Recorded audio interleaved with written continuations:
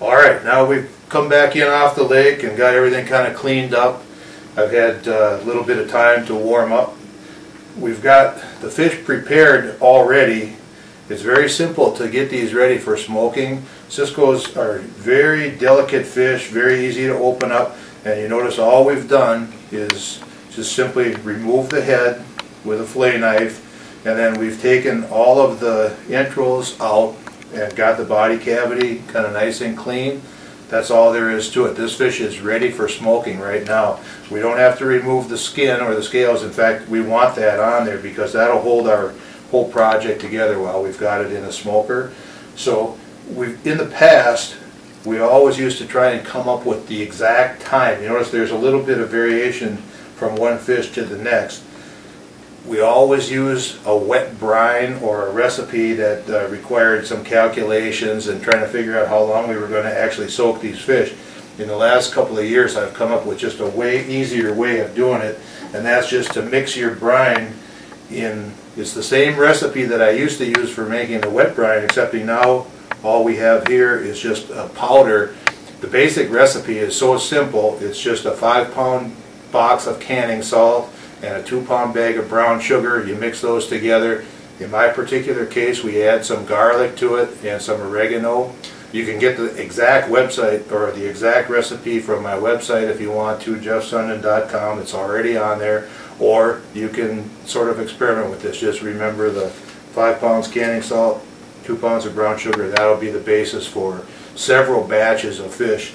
And rather than trying to mix this up in a wet brine, all I'm going to do, I'll take about a cup of that powder, and this is just like shaking, baking, getting ready to do your fish for uh, a fish fry. I'm just going to use a Ziploc bag for my own convenience. You could use something a little bit larger, but this is literally now just dropping that fish into the bag and coat that with powder. Fish doesn't have to be excessively wet or excessively dry. You just kind of take it out of the sink after you've cleaned it up. And then what I'll do is just shake the excess powder off of that. And you can see that I've got the fish coated on both sides. That's got brown sugar on it and salt, a little bit of spicing. And then all we do is place that into, this particular bowl happens to be a plastic mixing bowl. You can use a crock if you have one. You can use a glass bowl if you have one just simply don't put that fish into any kind of a metal container. You want it to be plastic, glass, ceramic, and we'll just add fish. I prefer to put about a pound of that uh, brine mixture in the bag at a time. I don't want to overcoat them. I just want a nice even coating on there. And then as I need bowls, I can add bowls or subtract bowls to it. We're gonna open that bag up. You'll see we've got that coated. As soon as, as soon as your coating starts to look splotchy, if you don't have a kind of a nice even coating on there, then add yourself a new batch of the dry powder. And we can kind of stack these up in this bowl for a period of time. At some point I'll have more fish than I can fit in this bowl, so by the time I get done going through and coating every fish, I maybe will have two or three bowls. Once I've got this coated, my particular taste, I like them sort of on the salty side, but not real salty.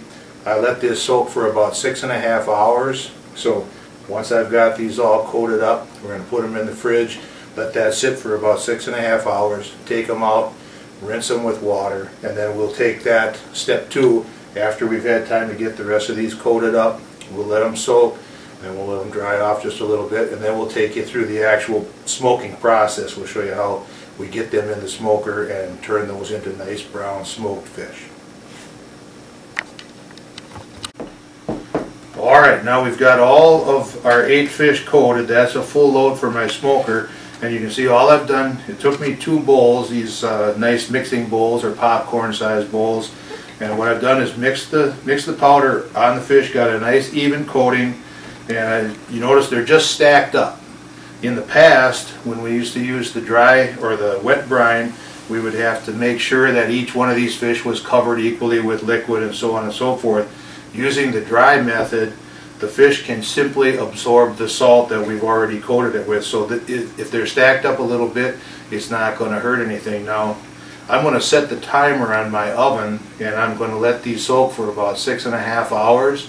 If you prefer fish that are somewhat saltier, you could go longer if you care to, or you can experiment even a little bit shorter. You don't want to underdo it, and overdoing it won't hurt anything, but the flavor will become saltier as you go. So we've got a little waiting ahead of us. We'll let these soak. I'll set the timer, and then after we get to the end of our six and a half hours, we'll go ahead and pull these out, rinse them with water, and then simply put them on a nice dry towel and we're going to keep those refrigerated until they dry a little bit.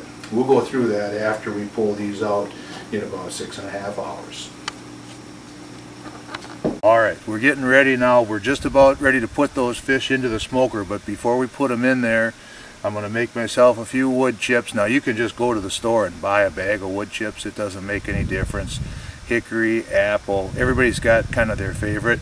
What I've got here is literally some of my firewood that I've just cut into smaller pieces and then I'm just going to chop that up into some little small pieces that I can put into my uh, heat pan and these work really great. If you don't have a stack of firewood and you don't want to mess around with this like I say, just go ahead buy yourself a bag of chips.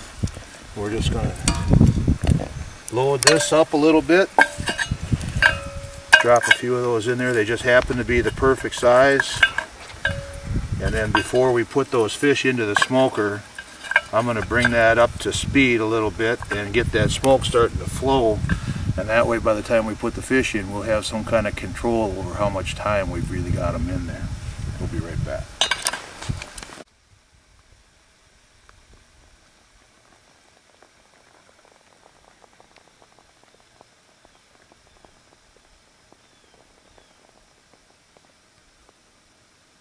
Now we've got the fish from the, the pan. We've got them all dried out a little bit. And you see I want to put them on the rack with just a little bit of space in between each fish.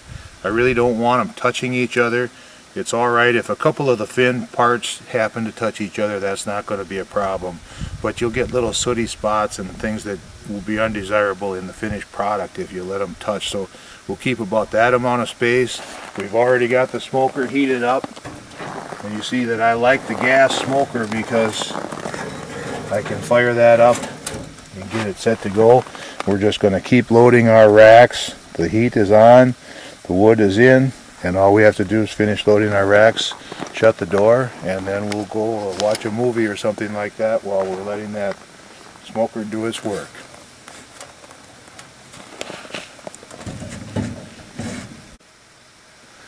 Alright, now we've had those fish in the smoker for just about three hours and I got a feeling that they're getting just about perfect right now so we're going to go ahead and open it up and take it a look. Uh, in three hours time I've only had to refill that smoke box one time. If you want them really heavy smoke you can keep that going so that the smoke is always pouring out and keep your heat a little lower but you do want the fish cooked so I keep it at around 240, 230 I want that to be done, cooked in about two and a half hours, and they'll be plenty smoky enough for anybody that wants to eat them. Let's have a look. There they are. You can see we still have a little we still have a little bit of liquid dripping off of these right now, but they're awfully close to being done. A sure sign, guarantee way to tell, you can feel that that skin has started to separate away from the, the meat of the fish and they've got a nice golden brown color. Don't be fooled into thinking that you've got to smoke them until they're all dried out because after we take these out and wrap them up in some paper, they're going to continue to dry a little bit even after we remove them from the smoker. So this is just about the perfect time. If there's a couple of drips of water coming out of them when you take them out, don't worry about that. Just be sure that that feels like that skin has started to pull away and you'll know that that fish is nice and cooked inside and these are going to be delicious to eat.